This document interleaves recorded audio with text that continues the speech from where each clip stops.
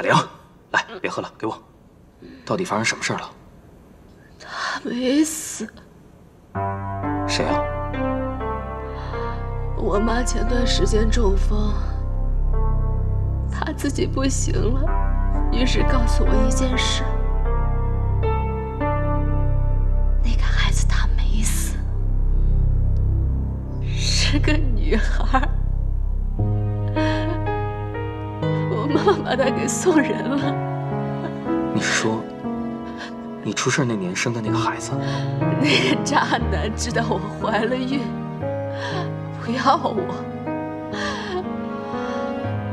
我妈觉得我未婚先孕，给他丢了人。孩子生下来之后，她告诉我，孩子死了。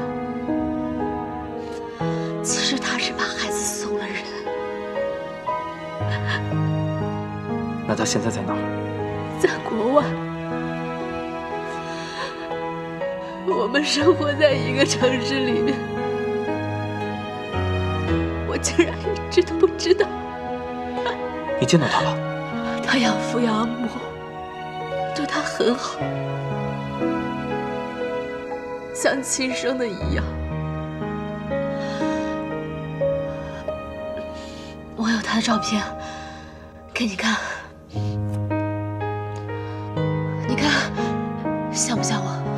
不是很像我，可明？海玲，她是我的女儿，为什么要送走？你告诉我，可明，你说我该怎么办？你告诉我，我想让她回到我身边。可明，你告诉我该怎么办？可明，你说话呀！我要照顾他，我是他的妈妈，我想照顾他，可你也没有办法，是吗？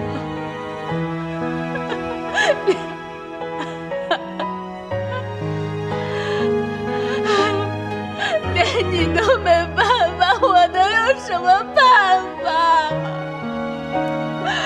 哎，海玲，你别喝了，你别再喝了，海玲，别再喝了，你别再喝了。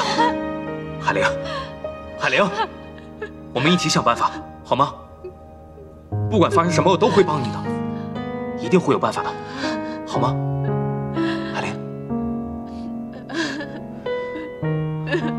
哥妹，你要帮我。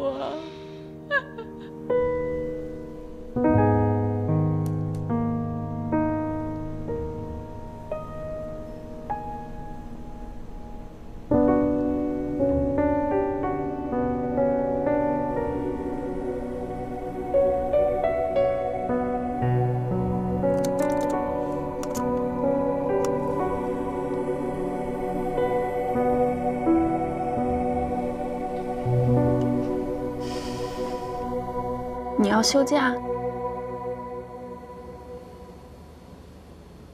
梦妍，你现在是我们网站话题性人物，我们也一直在重点培养你，把很多很重要的工作都交给你。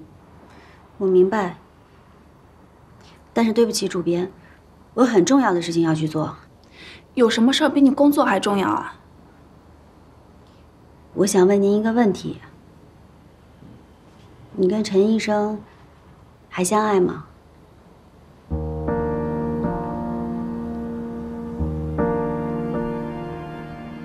那既然相爱，可是没有在一起，就真的从来都没有后悔过吗？也许吧，可能我俩都是更热爱工作的人。虽然记者这份工作我也很热爱，而且在我的人生中，这份工作对我很重要。可是，在爱情面前，我仍然可以选择放弃。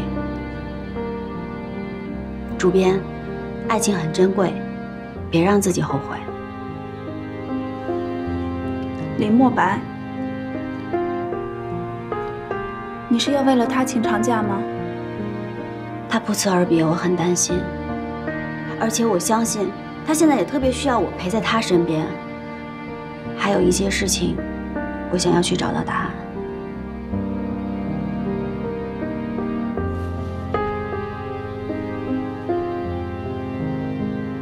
谢谢主编。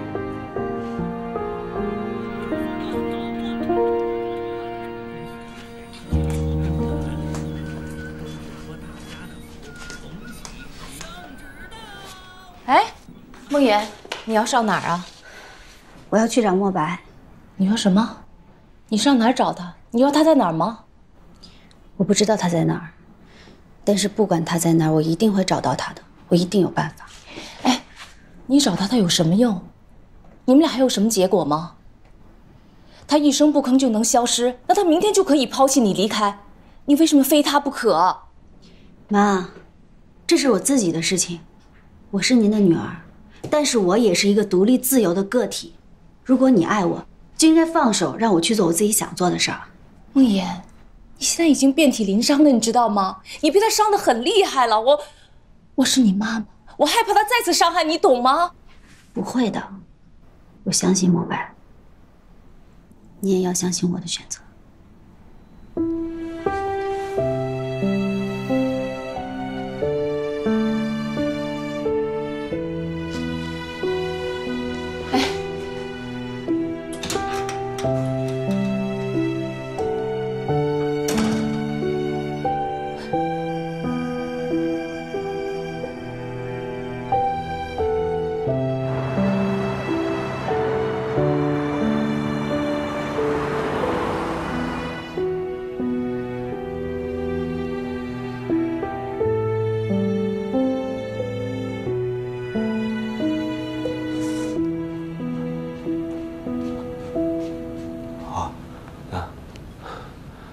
莫白不在家，杯子我也找不着，抱歉。